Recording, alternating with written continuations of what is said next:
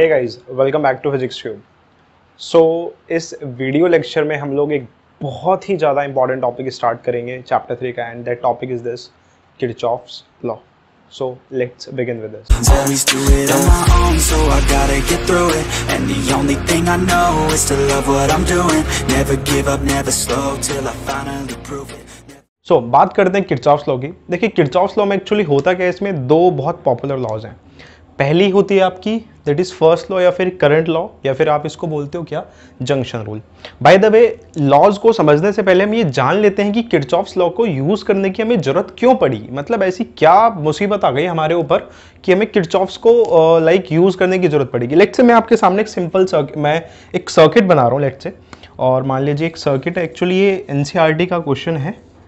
अगर आप देखेंगे थोड़े यहाँ पर एक रेजिस्टेंस या एक यहाँ पर एक सेल यहाँ पर एक रेजिस्टेंस यहाँ पर एक और रेजिस्टेंस एंड देन यहाँ पर एक और रेजिस्टेंस और यहाँ पर एक, ये कोई सेल लगाई हुई है, मान लीजिए। अब मान लो आपको ये बोला जाता है कि यार मान लो यहाँ पर एक रेजिस्टेंस है R1 ये है R2 ये है रेजिस्टेंस R3 कि यार आप ये बताओ कि इस R1 R2 और R3 से करंट कितना पास होगा? मान लीजिए आपको क्या बोला जाता है कि आप ये बताओ भाई R1 R2 और R3 से करंट कितना पास होगा? तो क्या है, हमारे लिए ना, जो इससे पहले हमने क्या पढ़ा है इससे पहले हमने क्या पढ़ा है कि भाई रेजिस्टेंसेस को हम सीरीज़ और पैरेलल में कनेक्ट करते हैं।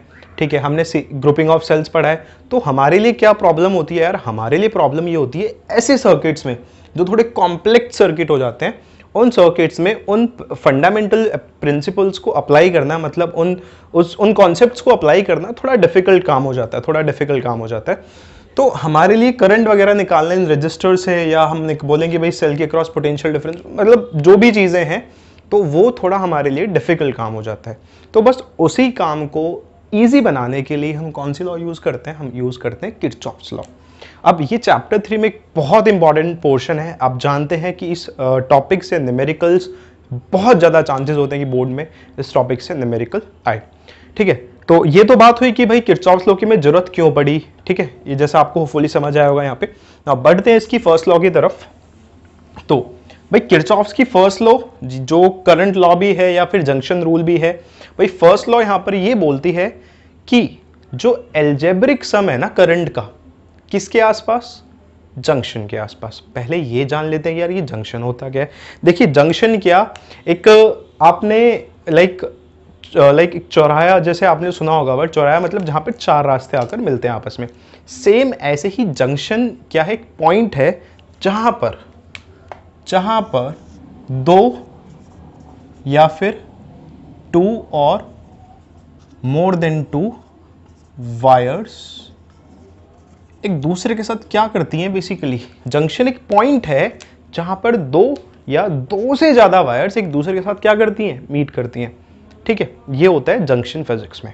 ना ये बोलता है यार, ये लॉ बोलती है कि भाई जो एल्जेब्रिक सम है ना करंट का, किसी भी जंक्शन के अराउंड किसी भी जंक्शन के अराउंड यार वो एल्जेब्रिक सम करंट के करंट का जो एल्जेब्रिक सम है ना जंक्शन के अराउंड यार वो ज़ीरो होता है। ठीक है भाई, देखते हैं।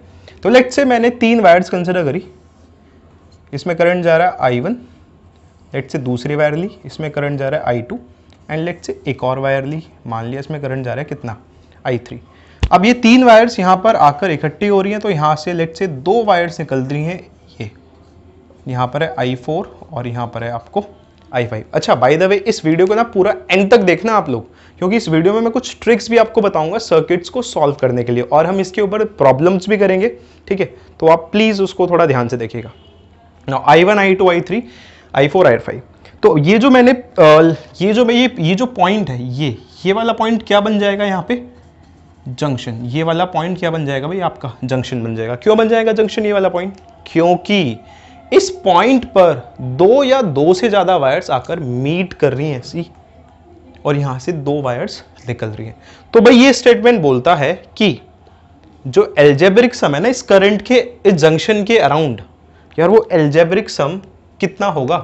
अगर इस स्टेटमेंट के अकॉर्डिंग चलो that is algebraic sum of current around this junction is zero algebraic sum मतलब जानते हैं आप समीशन करंट का सम ज़ीरो दैट इज़ इसका कंक्लूडिंग कंक्लूडिंग पॉइंट क्या निकला? कंक्लूजन ये निकला इसका कि जितना करंट जंक्शन में एंटर करेगा, उतना ही करंट जंक्शन से बाहर जाएगा। ये बोलते हैं। अब यहाँ पर मैं ट्रिक्स में लिखूं अगर अगर मैं यहाँ पर ये ट्रिक्स अलग से लिखूं तो भाई पहली ट्रिक क्या है कि फ़र्स्ट ट्रिक ये है कि अगर जो करंट है, अगर वो करंट जंक्शन में एंटर करेगा प्लीज़ आप इन ट्रिक्स को लिखिएगा जरा ध्यान से। अगर जंक्शन, अगर करंट जंक्शन में एंटर करेगा तो उस करंट का साइन लिया जाएगा positive.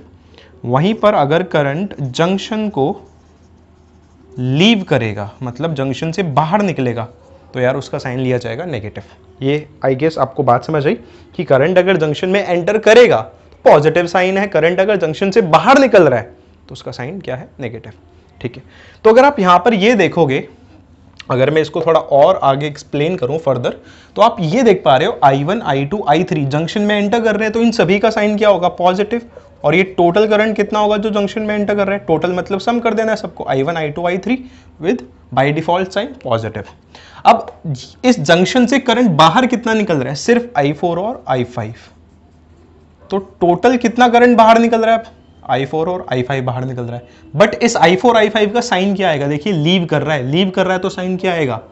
Negative and this is equals to zero तो यहाँ से हमने कंक्लूजन निकाला कि भाई I one plus I two plus I three किसके इक्वल है भाई? I four plus I five के। ये आपने देखा।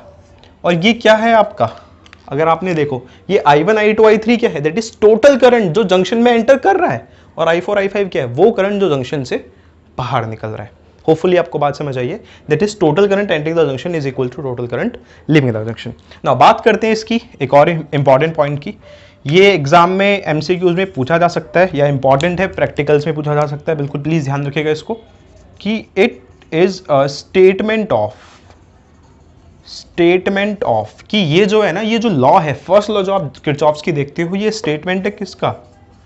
It is a statement of conservation of charge कि, भाई, ये कंजर्वेशन ऑफ़ चार्ज की स्टेटमेंट है। मतलब ये कंजर्वेशन ऑफ़ चार्ज को फॉलो करती है। एंड कंजर्वेशन ऑफ़ चार्ज क्या होता है? आप जानते हैं फ़र्स्ट चैप्टर में आपने पढ़ा इलेक्ट्रोस्टैटिक्स में।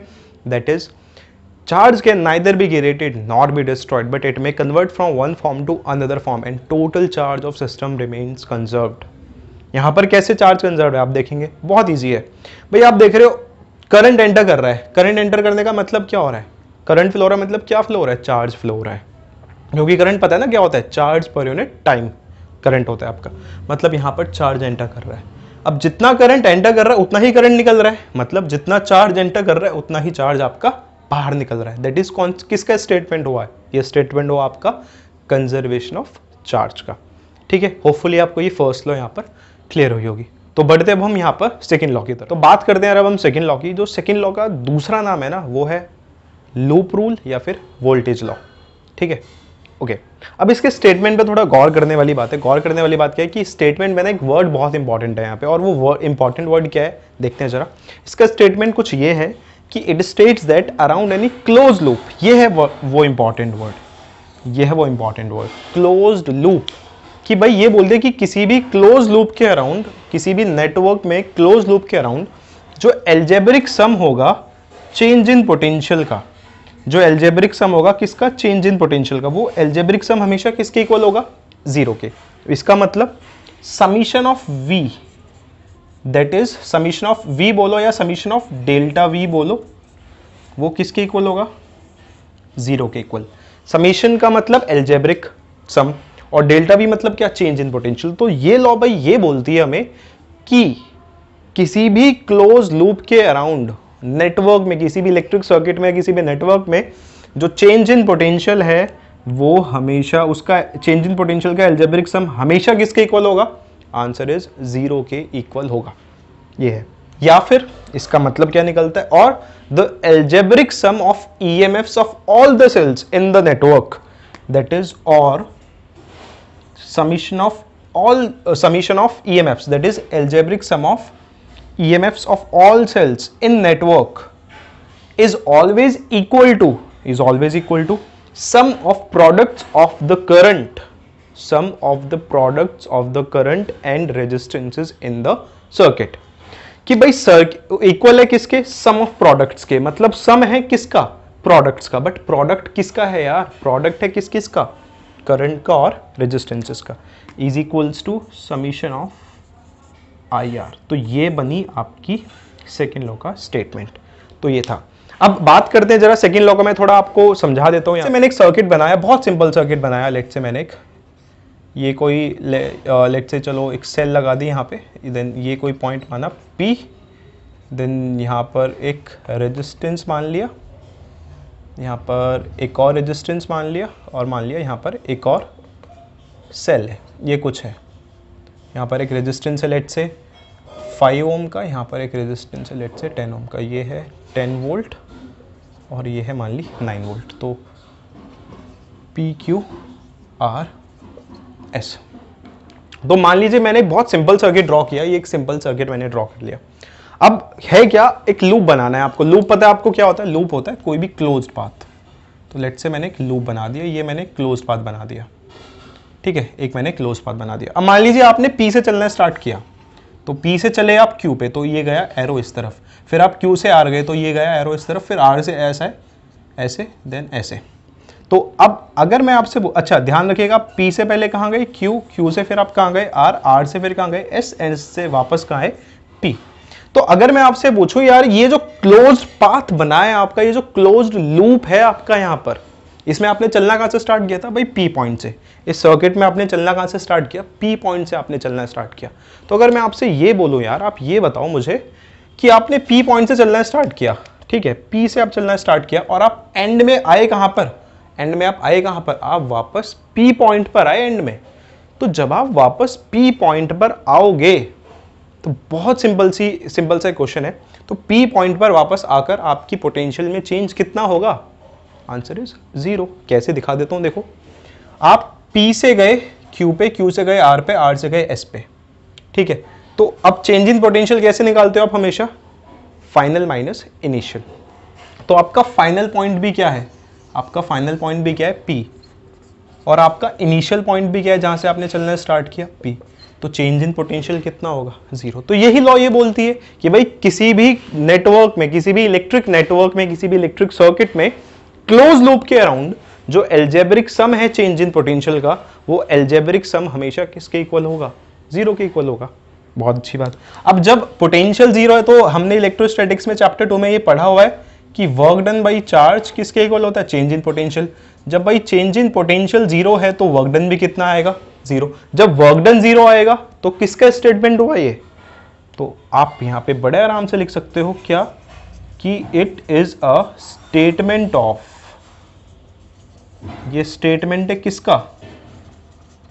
कंजर्वेशन ऑफ़ एनर्जी का। कि भाई इसमें क्या कंजर्व रहती है हमेशा? इसमें क्या कंजर्व रहती है हमेशा? इसमें हमेशा एनर्जी कंजर्व रहती है। ओके सो होपफुली यहाँ तक आपको क्लियर है। अब हम यहाँ पे एक बहुत टेम्पलेट सर्किट देखेंगे। मतलब हम देखेंगे कि हमें लूप कैसे लगाना है। जनरल एक टेम्पलेट सर्किट देखेंगे। सो so दैट हम उस उस टेम्पलेट को अपने न्यूमेरिकल्स में अप्लाई कर मैंने यहाँ पर टेम्पलेट सर्किट एक बना दिया है as you can see here ना यहाँ पे मैं कुछ कंडीशंस लिख देता हूँ क्योंकि ये वैल्यूज़ आपको गिवन होंगी हमेशा एग्ज़ाम में that is E one is greater than E two and let say E two is greater than या चलिए ई थ्री को बड़ा मान लेते हैं E three is greater than E two ये हम मान लेते हैं यहाँ पे ठीक है?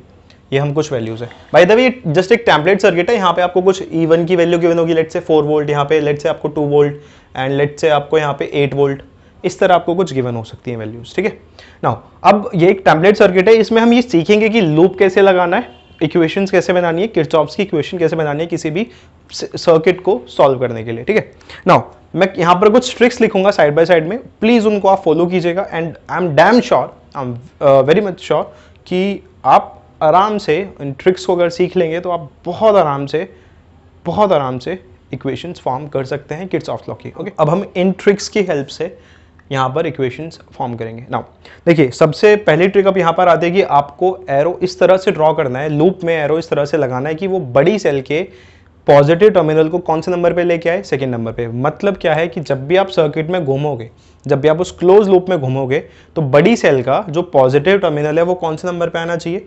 सेकेंड नंबर पे। और अगर बड़ी सेल का पॉजिटिव टर्मिनल सेकेंड नंबर पर आ रहा है तो उस सेल का ईएमएफ क्या बन जाएगा? पॉजिटिव ठीक है? मतलब जिस भी सेल का पॉजिटिव टर्मिनल सेकेंड नंबर पर आएगा, उस सेल का ईएमएफ e हमेशा क्या बनेगा? मतलब उस सेल की ईएमएफ का साइन क्या होगा हमेशा? पॉजिटिव नाउ देखिए तो यहाँ पर बड़ी सेल कौन है? ई e और ई e अच्छा एक खास बात और। क्या इस सर्किट में आपको करंट गिवन है?